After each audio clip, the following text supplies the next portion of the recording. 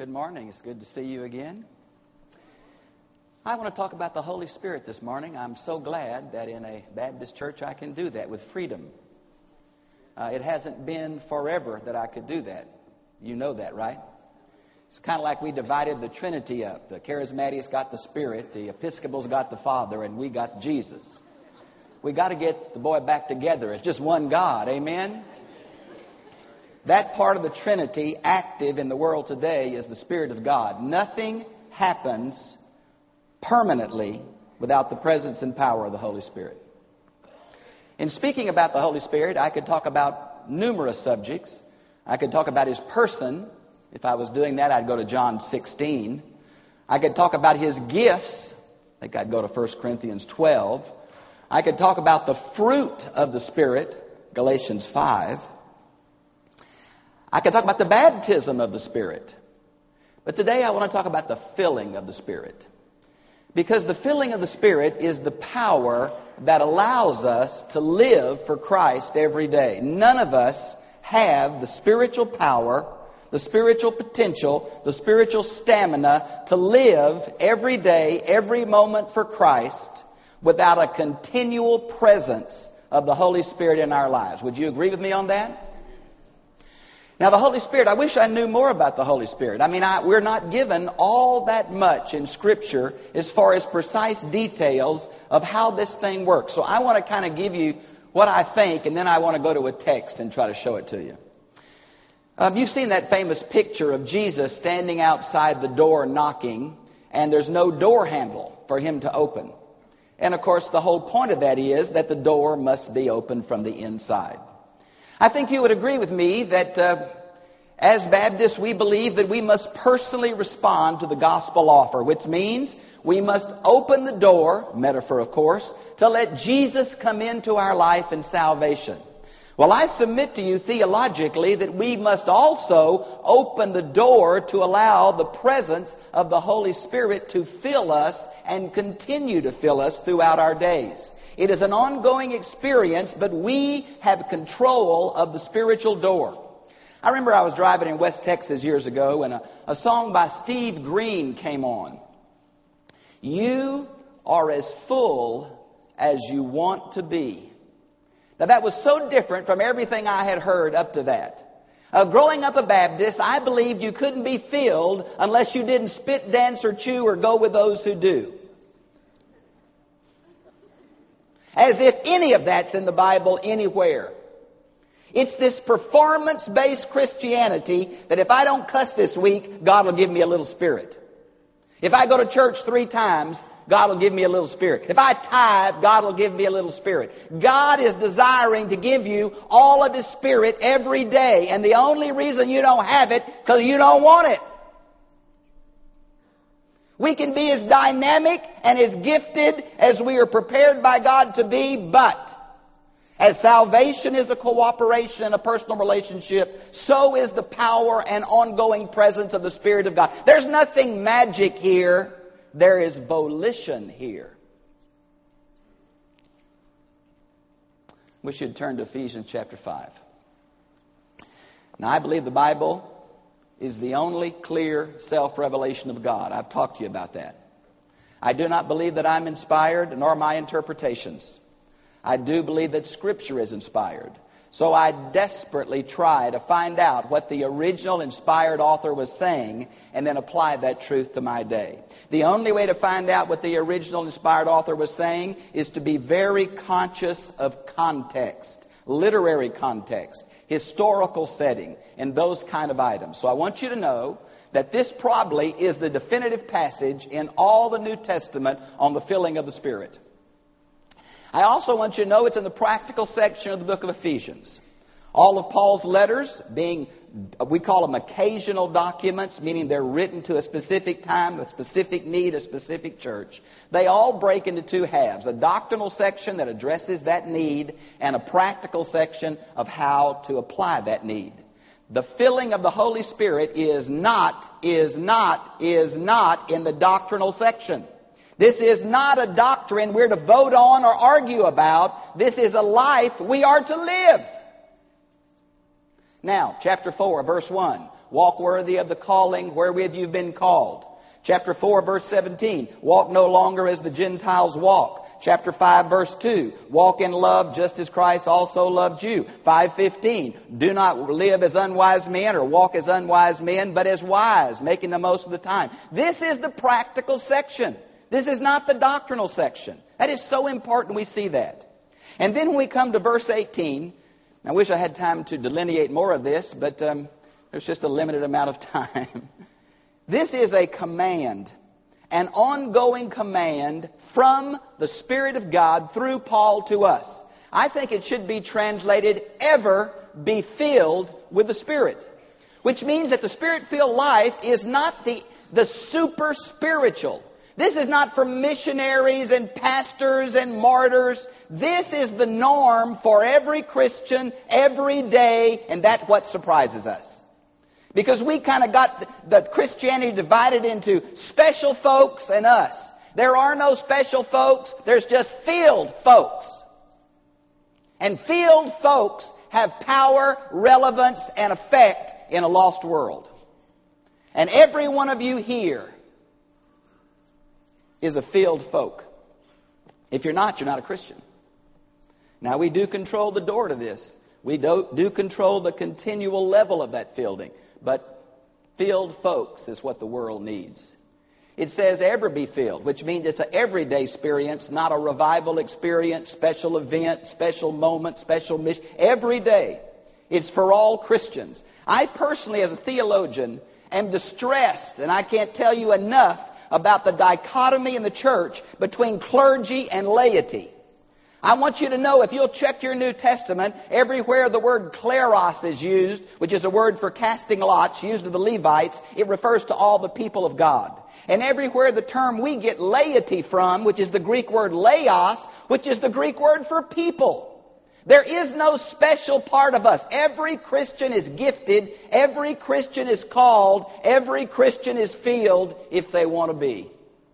Now, this new way of looking at the church. Now, the church is not this beautiful building. The church is you. And wherever you are during the week, that's where God wants to fill you and use you. I don't care how high we jump in here. If we're not the people of God when we leave here, it's a disaster for the kingdom. Amen, Brother Bob. Thank you very much. How we love to get together here and be spiritual. I want to talk to your coworkers. I want to talk to your spouse and your children. We'll talk about spiritual. If we're not filled on Monday, don't be jumping so high on Sunday. If this don't work when we leave, it ain't from God. Ever be filled with the Spirit. Now, because I teach the New Testament, and I hope you know this too, and I, I'm trying to give you information for you to say, where'd that fool get that? Because I want you more than anything to read the Bible for yourself. Amen? I'm trying to make you hungry for the kind of knowledge that God's allowed me to have to make you hungry so you'll start reading the Bible for yourself. I hope you know that Colossians and Ephesians are parallel books. They're written on the same outline. Colossians was written first to a group of heretics that were, dest- were destroying the church in a valley about 200 miles north of Ephesus. Probably a week or so later, based almost exactly on the same outline, Paul wrote a cyclical letter to prepare all the churches for this heresy that we call Gnosticism that was about to devastate the Western church. So if I can find a parallel between ever be filled with the Spirit in Ephesians, in Colossians, maybe Paul will say it a different way. You can't look at the margin of your study Bible because it's not a word parallel. But if you'll look at Colossians 3:16, everything around it shows you it's a parallel. And what does it mean to be filled with the Spirit? Exciting worship service, speaking in tongues? Well, I'm not against any of those. I'm really not. Thank God for that. But I want to tell you what it means to be filled with the Spirit is not an emotional experience, it's a lifestyle empowered by God to bring the kingdom into its fullness. Colossians 3:16 says, "Let the word of Christ richly dwell in you." You mean being filled with the Spirit and letting the word of Christ richly indwell us is the same thing? Exactly. Now, because there's such confusion here, what Paul does, and look at your Bible, Ephesians 5 18, the next two verses, Paul is going to describe what it means. Now, this is not Bob. This is Paul. And I don't care what translation you got, there it is. Five present participles are going to tell us what it means to be filled with the Spirit. Now, the first three, and I think you'll, you'll, you'll agree with this and like it, the first three have to do with singing. Singing, psalming, making melody. I, I don't know, I must sing at the wrong pitch or something, because every time I sing, I lose my voice. So I just mouth the words and tap my foot. But if I, if I sung during the songs, I wouldn't speak in the next time. So I, I don't sing a lot, but I, it's amazing to me when I drive over here, when I put Sandi Patty on, how much I help that woman in my car. I enjoy singing along with that. For some reason, I can, I guess, sing off pitch or something and have a good time. It just prepares my life for worship. I just thank God for Christian music. I just thank God we have it in our homes and our cars. I, oh, oh, oh, wait, I hear you. I listen to rock and roll too, you big fool, so get over it. I'm just saying Christian music is good. I like other music. I like other things. I got the Bee Gees in my car, so don't get weird on me here. But I'm just saying there is something that happens in Christian music that prepares me to hear from God, see God in daily things, encourages me experience in the past. I just thank God for it. The fourth one, look at your text, is giving thanks for all things. Ooh, I'm not there yet. I want to be, I'm just not there. So the fourth characteristic of a spirit-filled life, three have to do with singing, psalming, and making melody, and the fourth is always giving thanks. I've met people like this, you know, they say, oh, praise God, I have a flat. Oh, glory, fever, hallelujah. No, I'm not there, friends. I am not there, I'm telling you. But I do think that a worldview of a spirit-filled Christian is this. Nothing just happens to God's children. In everything that happened, there is spiritual potential for life changing, kingdom building witness, love, ministry, care, outlook in everything in the world. And once I get that in my mind, it changes the way I, I do life. Um, I'm a pastor. I've been a pastor for a lot of years. You go to, gr- to really great Christians' homes. You go to really sincere Christians' homes where there's been a tragedy. And time after time, people who ought to know better say to me, Didn't I tithe enough? Didn't I pray enough? What did I say? Damn. Did I not tithe exactly 10%? Why this me? Why now? Why? Friends, we live in a fallen world. This is not the world that God intended it to be. If you keep some kind of checklist on God loves you based on how things are going, you're about 10 seconds away from losing every joy you ever had. Circumstances do not determine the presence, power, and love of God. Amen? Bible promises. Worldview by faith. God is with me and for me. I want to give the name of a book that's been real encouraging to me in this area. Next to the Bible, probably get your pens out. There's no test, but you need to write this down. You'll get over it. Come, come, come, come. Nobody's met a move. What do, you, what do you got? A photographic memory?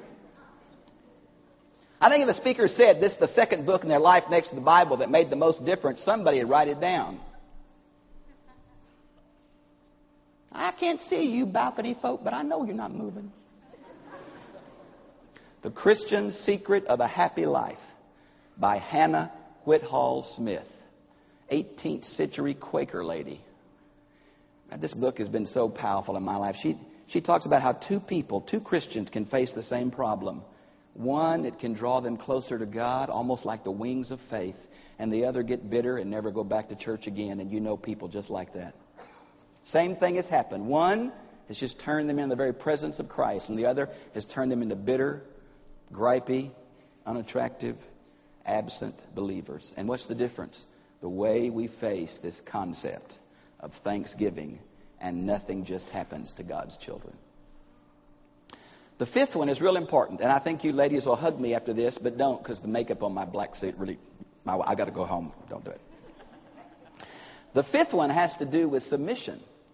And I want you to look at your text now. The next verse down, this has nothing to do with men and women. Nothing. This has to do with the fifth characteristic. The other four are present active participles. This is a present middle participle that accentuates the subject. And what this saying is that Christians who are filled with the Spirit are submissive to one another. Christians who are filled with the Spirit are submissive to one another because we realize the more we know the Bible, the more we know that all of us are gifted, the more we know that none of us can do ministry alone, suddenly other gifts, they don't, they're not tolerated, they become crucial for an effective full ministry. And we realize that we desperately need others as we try to live for God and um, turn people to Him. And once you see that, then we can be submissive to one another. We don't always have to be in charge. We don't always have to be right. We don't always have to have our suggestions taken. It's really powerful. Submit to one another out of respect for Christ. Now, watch your text, look at your Bible. Paul's going to further define what it means to be filled with the Spirit. So in 521, um, right on down through the end of this chapter, he's going to talk about husbands and wives. Friends, if filling doesn't work at home, it's not from God. Amen? Now, we put on a really good front when we get out in public. But the trick is, if this thing doesn't work in the most intimate relationship of life, it's not the power of God. Now, would you look at your text, 522? Do you have italics in your Bible? Little words that are slanted? I was in church one time and I said, what does that mean? And somebody said, Oh, those are the words the Holy Spirit really wants to emphasize. No. Those are the words that are not in the Greek text, but are supplied for English readers. Would you see, women, that the word be subject is in italics in verse 22, which means this text is not a command for women to be subject? We're dropping the verb from the previous verse that means it's a present middle participle. The only command in this whole section on husbands and wives is husbands love your wives as Christ loved the church. That's the only command in verse 25. You hear that, guys? If we're going to be leaders of our home, the command's on us to set a stage of sacrificial living to which women are encouraged to yield themselves to. Now, kind of follow with me. Chapter 6, verses 1 through 4 or so deal with children, children and parents. Then about verse 5 through 9 deal with home slaves and masters. All of these are connected to what it means to be filled with the Spirit. Why? Because if being filled with the Spirit does not penetrate our daily life, it's not from God. Now, I think we talk a lot about the Spirit. I think we fight a lot about the Spirit. I think we gripe a lot about the Spirit. But I want to ask you this Are you living in the Spirit? It so, it so tickles me. You get a concordance, you look up the word filled, and it says stuff like this. You can be filled with love, you can be filled with greed, you can be filled with lust, you can be filled with the Spirit. That filling kind of characterizes what our life's all about, and we have a choice in it. I, I always get tickled. In uh, Acts chapter 2, it says Peter was filled when he preached the Pentecostal sermon, first sermon of the church. Peter preaches the second sermon of the church in Acts chapter 3, and the Bible says Peter was filled. In Acts chapter 4, it says all the apostles were filled. Well, the theology is obvious. Peter leaks. and so do you. We all got holes in the bucket. Amen? And if we do not have enough Jesus coming in on a regular daily basis, we get pretty dry pretty quick. We cannot live this life in our own resources. It, the Christian life is as much a supernatural gift and a supernatural empowerment as is salvation. We don't, salvation is not a product we get when we pray a prayer and that's all we need till we die. Salvation is the beginning of a relationship that's meant to get better and better as the days go by. And filling is that repeatable experience where we consciously and knowably allow the power of God to flow through us. I, I used to I go to school every morning early, and if I waited and got late, there's a I live in about 20 miles from the school on a windy road. There was a lady that drove 25 miles an hour, and that was her high speed. If I got behind her, I had to pray to be filled several times because it leaked out rather quickly. And I tell you the truth, sometimes the way school goes, the way, way students go, I need to be praying at 11 o'clock. Lord, I'm empty again. I need your presence and power. It is a world view. It is a conscious yielding to the presence, power, and equipping of God. It is a realization that God wants to empower me, but I must allow Him to empower me. It's a world view as much as it is a theology. And it is a way of saying, Lord, I need you every day, every with everyone. And suddenly, when that happens, then life becomes ministry possibilities. And that's not a Sunday thing, that's a life thing. So I want to ask you a question. Would you bow your heads just for a minute? I want to ask you a question as we pray. Are you willing right now to ask the Lord to fill you? Are you willing to be His instrument in your world? Are you willing to be available to what He wants to do in your life? Ever be filled with the Spirit. Now look at me just for a minute. Just for a minute. musicians are coming. Would you look at verse 18? I've always been amazed why don't get bombed is in the same verse as get filled. Isn't that funny? What does getting drunk have to do with being filled? If we met somebody drunk, could we tell? Could the motor skills and the, the breath and you could tell, right? This guy is whoo Well, do you get drunk once and those characteristics last the rest of your life? No, you have to get drunk again and again for those characteristics. The same is true of the filling of God. We must choose to allow that experience that we had when we were saved to become the characteristic experience of our lives, to dominate our choices, to dominate our interpersonal relationships, to dominate how we choose to live. Ever be filled with the Spirit is the call of God for you today. May we stand?